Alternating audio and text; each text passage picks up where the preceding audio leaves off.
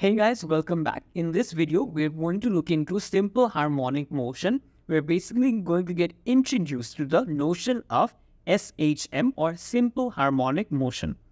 What is simple harmonic motion? Let's go over the definition only. I know you have never heard of this, but let's just understand the definition of simple harmonic motion. You've already seen this in uh, varied experiments and in different oscillating uh, objects. So you will eventually understand why simple harmonic motion is so distinct and uh, is differently explained or described. So what is the definition of simple harmonic motion? It is a type of oscillation in which the acceleration, the acceleration of the body, of a body is proportional to its displacement, but acts in the opposite direction. Great. So if I bring in an example of this pendulum again. This is the equilibrium position, right? If I shift it rightwards, if I shift it rightwards, what am I doing? I'm putting it leftwards. Sorry, I'm putting it rightwards and giving it potential energy, right? I'm holding it over here. I'm holding it over here and giving it potential energy. Great. So if I uh, just add a notion or a key, which is if I'm, I'm taking uh, the right side as positive and taking the left side as negative, this is the key for this, um, I don't know, description. We're taking right as positive and left as negative. Great. So, um, I'm holding this bob on, on the right side and it has potential energy. Great. So, if I leave it, the moment I leave it, it will come over here. And it will not stop. It will continue to oscillate and get over here. So what can we deduce from this? The moment you left this bob, it kept accelerating until over here. Why does it stop accelerating over here? Because in this position, max potential energy. In this position, max kinetic energy. And again over here, max potential energy. So what is happening? You know the equation of uh, kinetic energy is half mv square. Now you know half is a constant and m is a constant, meaning the mass is not changing. What is changing? Velocity. So for there to be maximum kinetic energy in this position, let's say 2, the variable is velocity. So the velocity needs to be maximum in position 2. Therefore, we know that the velocity is maximum in position 2. So, um, as I started off uh, with this description, I told you I'm holding the bob in this position, let's say 1. And if I'm holding the bob at position 1, it has no kinetic energy. And if I've only um, released the bob in position 1, it has no kinetic energy, it has potential energy. If it has no kinetic energy, that means the speed is 0, velocity is 0. Velocity is 0. Great. So if velocity is 0, we can say, and we can draw a graph from this, where here velocity is 0, v against time, velocity is 0. Over here, velocity is max. Over here, velocity is again 0. And if you repeat this from here to here, velocity starts reaching, reaching max again, but in the opposite direction. So it's in the negative axis. So it reaches maximum velocity, but in the opposite direction from, let's say, 3, position 3, position 3 to position 2. Again reaches maximum velocity, but in the opposite direction and then again reaches velocity 0 in position 1. So this is the velocity graph. Now what did we want to know or what did we want to learn from this experiment or from this description? We wanted to know about the acceleration. Now I would expect all of you to know about differentiation already from maths. If you know about differentiation, you should know that if you differentiate velocity, you get acceleration. This very thing is position 2. This is position 2 as well. This is position 1. This is position 3. Great. Now, the thing is, at the maximum velocity, if you take the derivative and you find the slope, which is basically the acceleration, you will see acceleration at 2 is 0.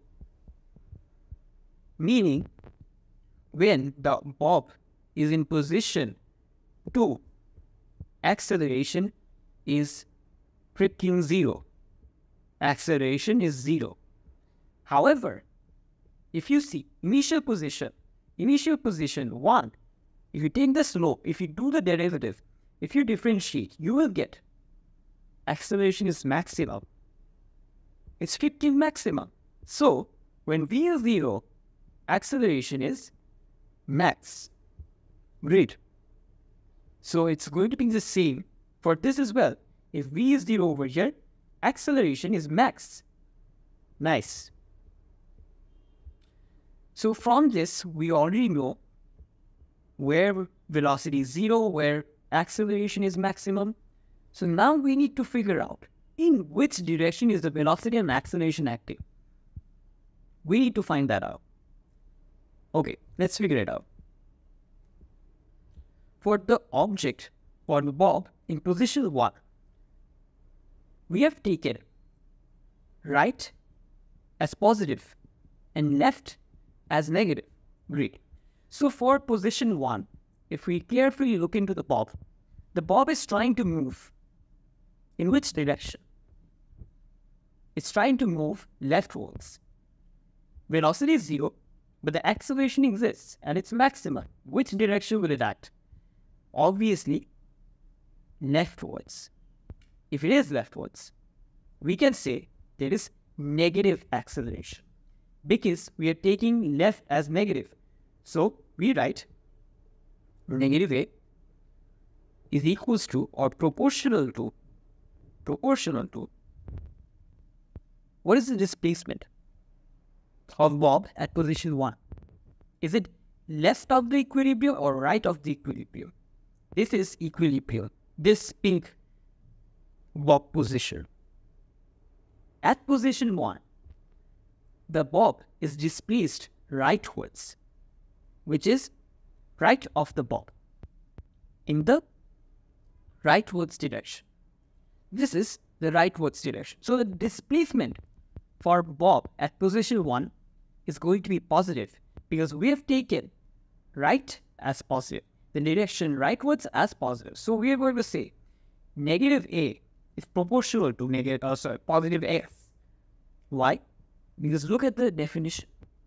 It is a SHM or simple harmonic motion is a type of oscillation in which the acceleration is proportional. Acceleration is indeed proportional to its displacement, but in the opposite direction. So you can see, you can write from here, if you take the negative sign on this side, it's the simple harmonic motion equation. And we could prove it theoretically from this experiment.